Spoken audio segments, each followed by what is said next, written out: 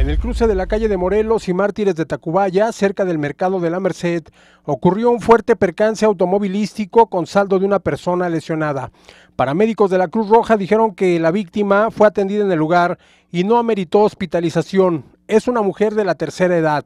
Por su parte, oficiales de la policía vial indicaron que la camioneta Cherokee blanca sin placas de circulación manejada por un hombre impactó en un costado al auto Atos rojo con placas de circulación TKC 6226, el cual fue proyectado contra una casa. Por choque en semáforo, eh, se desconoce, no, no, no, realmente quién no respetó la luz. Eh, se trata de dos vehículos, un Atos y una camioneta Jeep.